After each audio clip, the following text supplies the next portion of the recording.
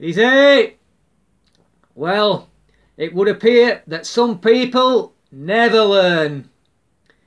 The result has come in for the Peterborough by-election and Labour have taken the victory. To say that I'm disappointed with that is an understatement. Because the woman that they have elected in is up to her neck in anti-Semitism. She's a staunch Corbynite and Labour themselves have even come out and admitted that they were banking on the Muslim vote to propel them to victory. So it just goes to show you the way the fan base of Labour is at these days. It would appear that one of my other videos where I titled it The Only Way is UKIP, that people have not listened to my warning, that if you continue to vote in the way that your dad did, your granddad did, his granddad before his granddad did, we will continue to get Labour in these Labour strongholds in the places where we need serious change. Now, on the subject of Labour, the behaviour of Jeremy Corbyn while President Trump was visiting our shores has been nothing short of an utter disgrace. First of all, he turned down his visit, his invitation to the Queen's banquet because he didn't want to meet the big bad wolf. Now, if that's not bad enough, I mean, let's face it, you know, it's like this is a. He's he's the leader of Her Majesty's opposition. He's not some student activist anymore that goes shouting fascist at everybody. You know, remember who you are, mate. Remember what your place is.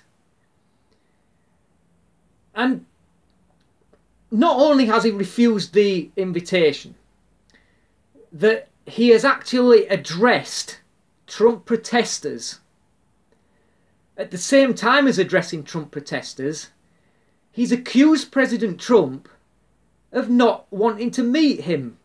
Now, if you are going to want to, if he wants to meet President Trump, which you would assume by that statement that he does, you would have thought that the solution would be very simple.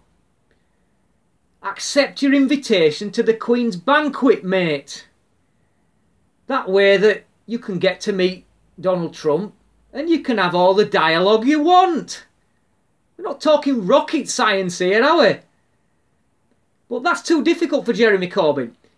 What he'd prefer to do is he would prefer to refuse the invite and address his protesters at the same time condemn Donald Trump for not wanting to meet. Is it for real? I just want anybody out there who is a, a Labour supporter who can't think of anything else to vote for because they voted Labour all their lives. Just take a look at this presidential visit to show the hypocrisy of Jeremy Corbyn, Emily Thornberry, the woman who sneered at working class people a couple of years ago, Sadiq Khan, who has criticised Trump over his treatment towards women at the same time as uh, endorsing an event that forced women to take uh, a separate entrance in to the men and presumably sit separate to the men in the building. A very good video by Anne-Marie Waters has come out highlighting this to more detail what I will go into here. So guys, this is Labour, laid bare over this last week. And a message to the Tories out there, if you do not book up your ideas, you are going to allow this man to stroll into number 10 without any check whatsoever. We will have Corbyn government in the next general election, if you do not seriously do something, you are going to have to get off of your arseholes and you are going to have to fight, fight, fight to keep this man out. Because right now he's going to walk in unchecked. And to the viewers who are going to vote for the Brexit Party, who did in Peterborough. They did well, but they didn't win it. But the Brexit Party does not have any domestic policies, and also it's faced with a dilemma. It's got a wide range of uh, people in its party. You're talking about having to marry the views of staunch Conservatives with staunch Labour uh, MPs, and that's going to be difficult for him to form a manifesto based on that. Vote UKIP. I know that they took a battering, but I'll be interested to see who comes into the leadership. And if you're a UKIP member like me, I would adv advise you not to vote for Mike Hookem. Mike Hookem is the man who allegedly punched Steven Woolfe in the EU Parliament. And Steven Woolfe is a guy that I was really hoping was going to make it as the UKIP leader, and he decided to pull out after that.